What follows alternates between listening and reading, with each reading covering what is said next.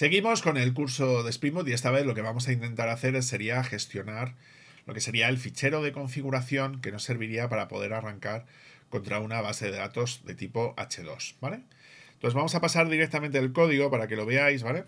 Entonces, en este caso, fijaos, ¿no?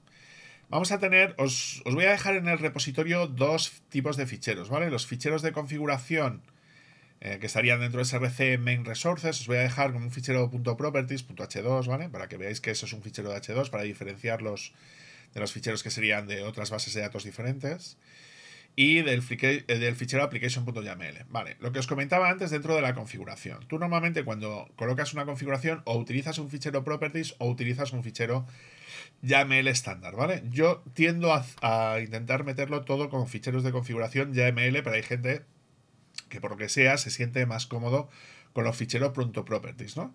Entonces, ¿cómo deberían de llamarse los ficheros? Pues o bien application.yml o application.properties. Esos son los ficheros base que se cargarían en el caso del sistema. Entonces, o utilizas uno o utilizas otro, ¿no? Esa sería más o menos ya la opción.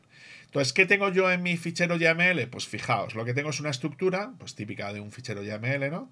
Y esta sería la estructura básica para, por ejemplo, hacer la parte de configuración contra una base de datos a fichero en el caso de utilizar H2. Fijaos, ¿no? Yo tendría que configurar la clave Spring, data source, y dentro de esa data source tendría que meter URL, username y password. Estaría bien meterle también lo que sería el driver que quieres llegar a utilizar, ¿vale? Para poder entrar. Y luego a partir de aquí sería la password de entrada, ¿vale? Si colocas password de entrada eh, SA sin contraseña, pues directamente sería como la parte base de funcionamiento, ¿vale? Entonces, con esto tendrías lo que sería la parte de conexión a la base de datos. ¿Qué más cosas a mí me gusta meter? Pues me gusta meter, por ejemplo, dentro de las configuraciones de JPA, este, este parámetro que sería el Database Platform, que me dice cuál sería el dialecto que tengo que utilizar dentro de Hibernate para poder gestionar lo que sería el esquema de la base de datos. Que esto, ellos tienen más o menos una elección predeterminada dependiendo del driver que utiliza, pero bueno, nunca está de más poder colocarlo aquí.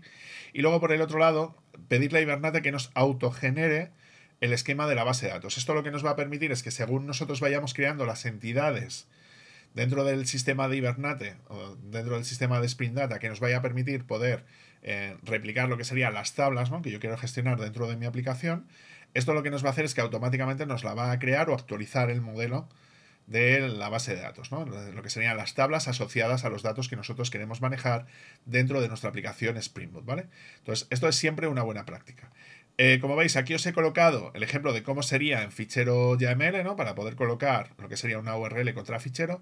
Y si quisierais arrancar contra una base de datos en memoria, lo único que tendrías que hacer sería descomentar esta línea y comentar la siguiente. Y como veis, esto sería como el nombre de la base de datos, ¿no? Y esto sería que sería una base de datos en memoria en base a H2, ¿no? Si fuera un fichero de configuración de propiedades, sería muy similar a lo que estáis viendo por aquí. ¿Vale? Bueno, en este caso sería así, ¿no? Para que fuera más o menos similar a lo anterior. Donde veis que lo que hace es que colocas todo el nombre completo de la propiedad, un igual, y el valor asociado a la propiedad. Los datos son exactamente los mismos que lo que nosotros hemos visto. Os dejo estos dos ficheros de base para que podáis ver eh, comparativamente cómo se hace en un lado y cómo se hace en el otro, ¿vale? Para que así lo tengáis un poquito visto, ¿no? Entonces, ¿qué tendríamos que hacer a partir de aquí? Muy sencillo. Lo que tendríamos que hacer, teóricamente, en nuestro caso, en el fichero YAML, que es el que va a cargar, debería de crear en el raíz de nuestro proyecto una base de datos llamada testdb, manejada con H2, a través de un fichero. ¿no? Algo similar a SQLite, más o menos para que me entendáis, pero esta vez gestionado directamente desde Java. Entonces, si yo arranco mi aplicación con un Spring Boot 2.run, eh, ¿vale? Veis que carga la, la aplicación y ahora veréis que carga perfectamente. Bueno, veis que ha cargado súper rápido, ¿vale? Porque prácticamente no tiene que hacer nada, solamente leer un fichero de disco. Y si os dais cuenta, en la parte de conexión a la base de datos, veis que me sigue abriendo el barra H2 console, que ahora lo vemos desde el otro lado, y me dice, pues eso, a qué base de datos se supone que se ha enganchado. En este caso veis que va hacia fichero. ¿Qué ha pasado aquí? Si yo actualizo el proyecto, voy a pulsar el botón derecho, Reload from this, ¿no? Veis que efectivamente me ha creado este fichero eh, tsdb.mv.db, que sería como un nombre predeterminado que le da H2 a los ficheros de la base de datos como tal. Aquí es donde se estarían guardando los datos. Si en algún momento queréis resetear la base de datos, lo que tendríais que hacer sería borrar este fichero con esta extensión.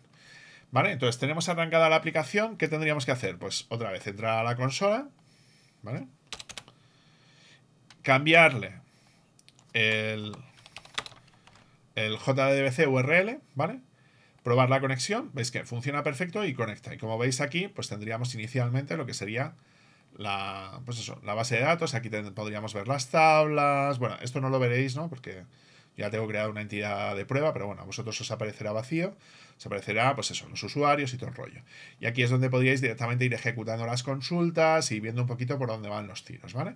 Entonces, si os dais cuenta de esta manera, lo que hemos visto es cómo configurar nuestra aplicación Spring Boot para que cargue contra una determinada base de datos H2 que esté colocada directamente o bien en memoria o bien en, o bien en, un fichero de disco, ¿no? Es decir, en un fichero volátil, vamos a decir. Y luego ya a partir de aquí, que tendría persistencia, ¿no? Es decir, si guardamos un dato en esa base de datos y volvemos a arrancar luego la aplicación, el, el dato debería estar, si lo guardamos en base a fichero. Y esto es lo que nos va a permitir tener cierto grado de persistencia de los datos sin la necesidad de instalar ningún sistema de base de datos eh, que nosotros necesitemos a la hora de poder hacerlo. Lo que veremos en siguientes vídeos es cómo realizar un proceso de instalación y configuración con Docker y Docker Compose de mm, una base de datos MySQL y MariaDB y cómo enganchar nuestra aplicación contra esa determinada base de datos. Así que muchas gracias y nos vemos en el siguiente vídeo. Hasta luego, gente.